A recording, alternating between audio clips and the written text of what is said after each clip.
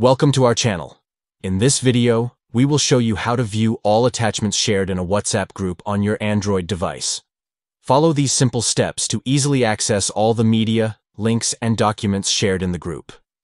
Step 1. Open WhatsApp on your Android device. Step 2. Open the desired group that you want to view the attachments for. Step 3. Tap on the group name or profile photo at the top of the screen. This will open up the group info page.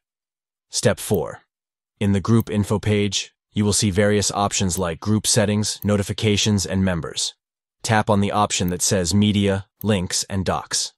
Step 5. Here, you will find a list of all the attachments shared in the group. You can easily scroll through the list to view all the images, videos, links, and documents shared by the group members. And that's it. With these simple steps, you can easily view all the attachments shared in a WhatsApp group on your Android device. If you found this tutorial helpful, don't forget to like and subscribe to our channel for more tech tips and tricks. Thank you for watching.